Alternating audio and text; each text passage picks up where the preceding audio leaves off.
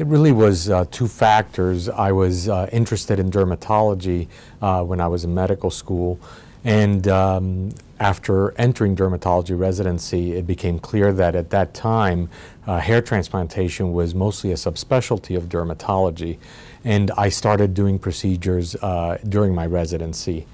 Uh, having lost my hair to male pattern baldness at an early age of 19, I was always very sensitive to the psychological aspects of hair loss and uh, started having transplants myself as a patient uh, at the age of 23. I think that those two factors sort of came together uh, and uh, being a, having been a patient and then having the opportunity to help others uh, with uh, this tool, um, I basically began performing these procedures, trying to perfect them and finding better ways in which to do it.